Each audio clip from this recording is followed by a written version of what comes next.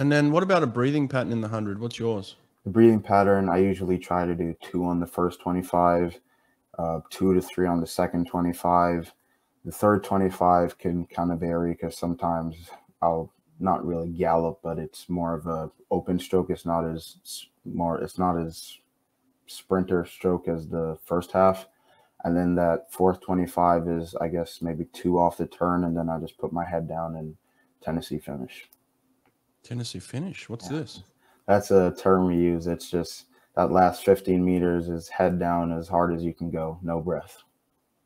Oh, Matt, we're not allowed to breathe the last 15. Okay. I like that. A Tennessee finish. Beautiful.